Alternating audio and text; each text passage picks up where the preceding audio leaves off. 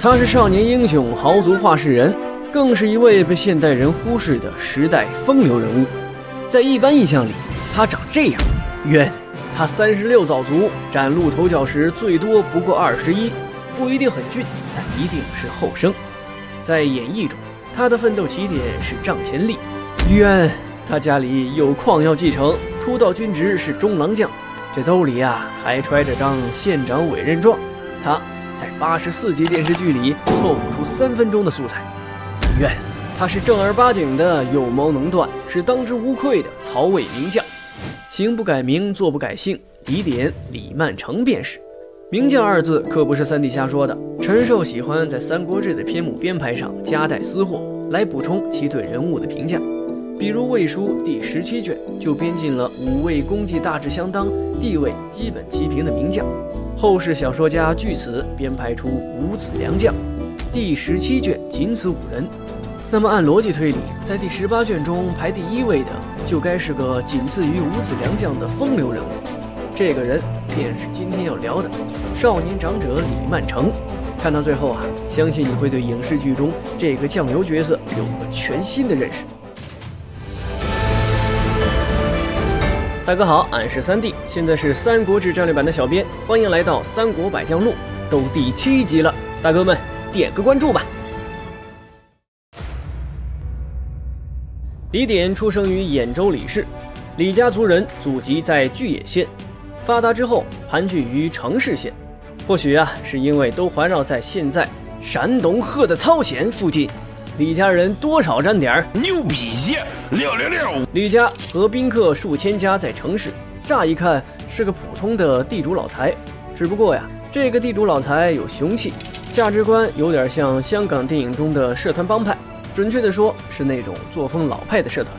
他们的江湖不讨论人情世故，不追求金钱利益，在意的呀只有简单的义气忠诚。就像《三国志战略版》里的盟友兄弟千千万。只要瞅对眼了，就是给你干。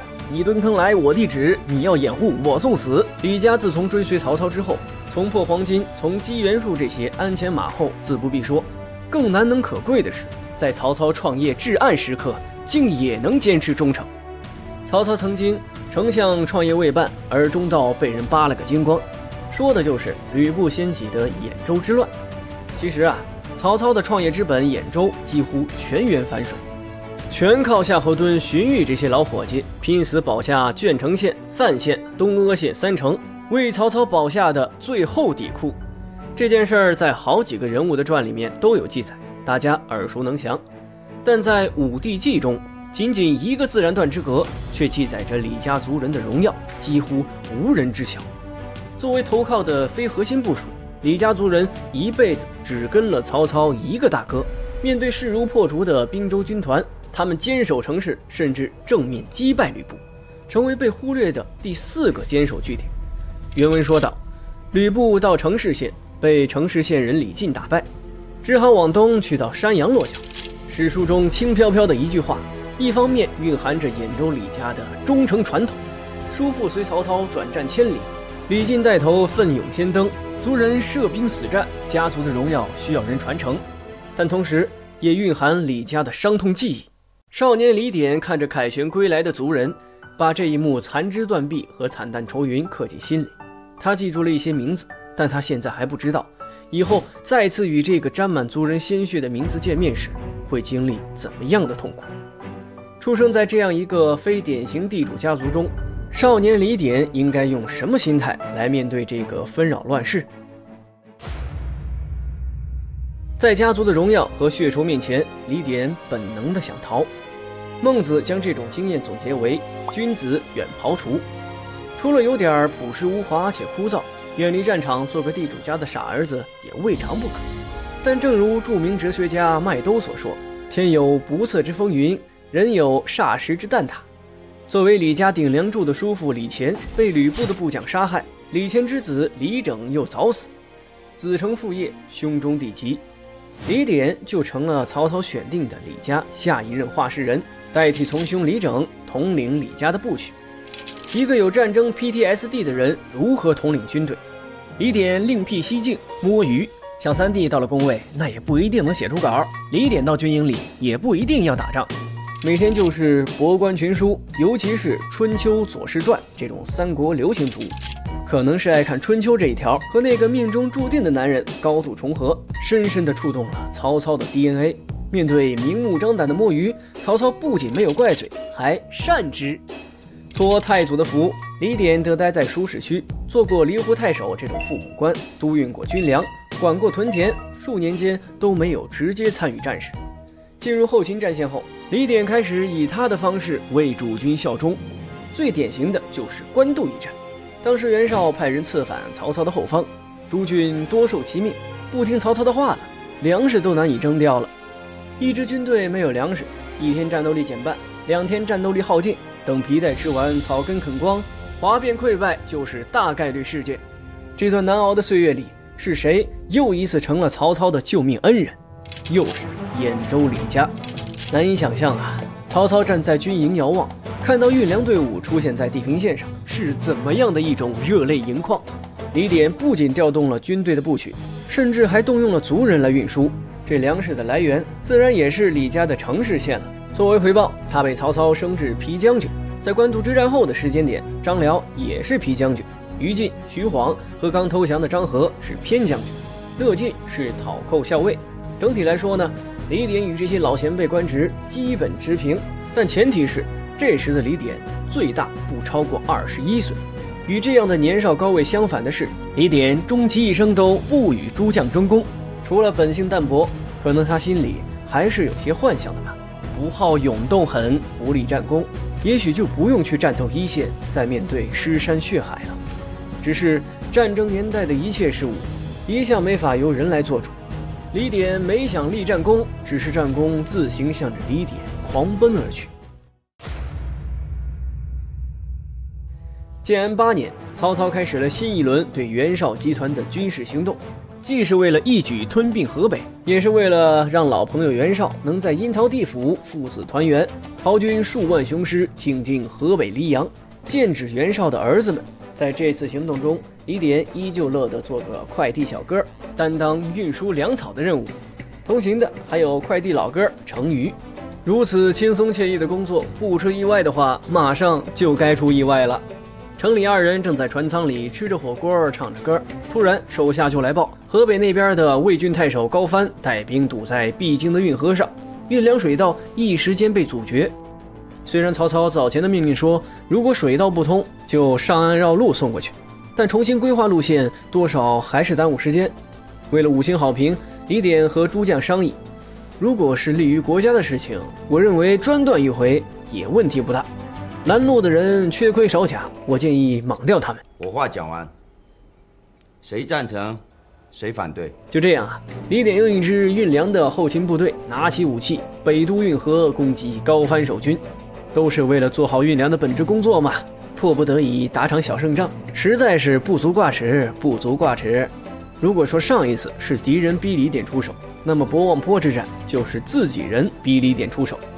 演义中，博望坡之战是诸葛亮的新人首秀，运筹帷幄，碾压全场。而正史的博望坡和演义有那么一点点的出入。一场博望火烧出两件代表作，一方属于那个常年被网络历史学家嘲笑军事才能的刘备，而另一方正是被迫 carry 的李典李曼成。建安七年，还屈居客座的刘备奉刘表之命北伐曹贼，直取许都。曹操对这次北伐给予了足够的重视，阵容搭配是主 C 夏侯惇、于禁，辅助是李典。李典一听这阵容，心里瞬间放松了一大截。夏侯惇和于禁都是身经百战的老将了，自己这个打辅助的，该奶的时候奶，该混的时候混，边缘 OB 助攻就行了。看到对面刘备自己放火烧掉营帐逃跑，夏侯惇心里也放松了一大截。大耳贼这是怯战了。自己只需要乘势追击，痛打落水狗就完事儿了。只是老将有老将的判断，新人有新人的敏感。李典一看这阵势就感觉不对劲，刘备向南边逃跑，那边道路狭窄，草木浓密，这指定是没有安什么好心思啊。可把这话跟夏侯惇一说吧，人家反手就是一句：“你在教我做事啊！”一意孤行，带着于禁就追了上去。刘李典镇守大营，被领导怼了。李典这边也不能装没事发生过，只能暗地里准备接应。果然，刘备只是假意分营撤退，而将部队埋伏在草木茂盛的小道中。等到夏侯惇率部进入小道，左右伏兵同时杀出，夏侯惇于禁顿时陷入危局。守候大营的李典看着夏侯惇所在方向火光冲天，那是看在眼里，急在心里。怎么办？能怎么办？还能不救吗？夏侯惇可是曹操的老铁，当即率领留守大营的本部人马杀奔战场，这才下阻刘备包饺子，避免了夏侯惇二次沦为俘虏。这两次不期而遇的战斗后，李典的战斗才华彻底藏不住了。曹操开始觉得，哎，这小伙子行啊，有事他是真上。于是开始频繁给李典布置作战任务，攻邺城围高干，破管城。李典随时被赶鸭子上架，但效果却是皆破之。签了俘虏将军，又封都亭侯，一切已经没法按李典的意愿去发展。建安二十年，孙权逼近合肥，迫不及待点击领取个性化定制的十万头衔。与此同时，守将张辽举着一封写着“贼至乃发”的教令，正与诸将解释：“孙权以为主公在外，必破我矣。今可发兵相迎，奋力与战，折其锋锐，以安军民之心，方可固守合肥。成败之机在此一战，诸军何疑？”虽然问的是诸军，却只盯在李典身上。营内诸将唯独李典恐其不从，因为准确来说啊，李典可能不仅有战争 PTSD。更有张辽 PTSD。当年兖州李家与吕布的惨烈一战时，张辽还在吕布麾下。这样算下来，他手上便会不可避免地沾染了李氏族人的鲜血。后来张辽转投曹操，却与李典素不睦的原因，便有了一种合理解释。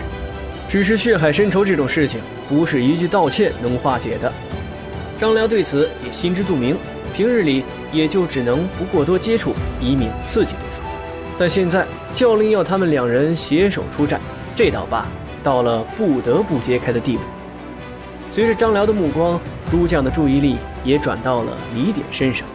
只见李典眉头紧锁，脸上神色转过千回，半晌之后，缓缓道出一句：“张文远，你欺人太甚。”众将看他如此反应，心中也沉下半截，只暗道：“丞相安排张李二人出战，失算矣。”曹操失算了吗？或许他在赌。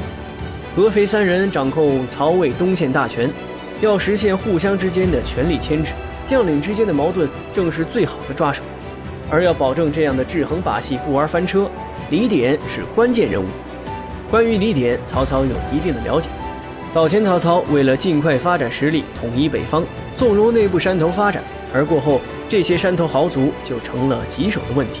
恰在此时，李典挺身而出，自请举家内迁归附，是出于忠诚，是因为看破现实，都不重要。无论是什么出发点，李典的行为都是公义为先，家国为先。所以曹操就赌，在战时李典也能摒弃与张辽的嫌隙，再度以公义为先。曹操赌对了。合肥帐内，李典再度打破凝重的氛围：你我虽有仇怨，但何至于让你怀疑我的为人？大事当前，你只要考虑好应对计策就行了。吾可以私汉而忘公义乎？你把我当什么人了？此话一出，诸将先是一愣，随后长舒一口气。话虽然是横着来的，但张辽听罢，顿时愁云聚散，当即招募骁勇死士，得八百人，杀牛分食。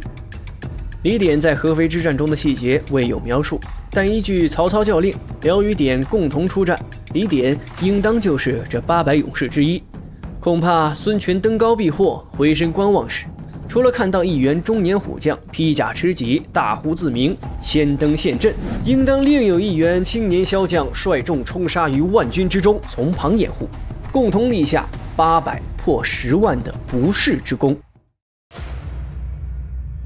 曹魏黄初六年，魏文帝追念合肥之功，给李典增征一百户，谥号闵侯。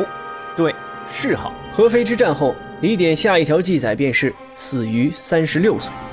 陈寿在其传记的末尾评价说：“李典贵上儒雅，意望思细，美矣。美是美德的美吗？这样的理解太没有想象力。三弟给李典一个浓墨重彩的描写，是为了挖掘被遗忘的三国风流人物。那陈寿将李典这样一个英年早逝的少年将军排到这么高的地位，是为什么呢？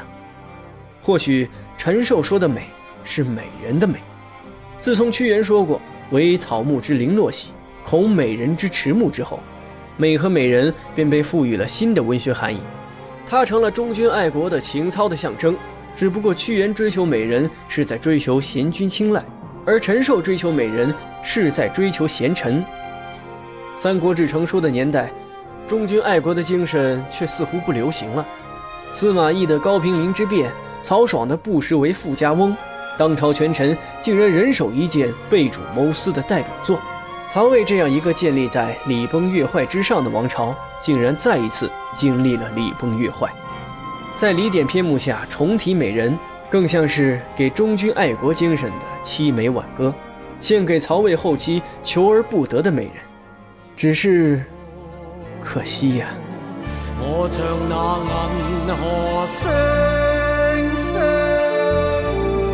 让你默默爱过，更要那悠悠光辉为你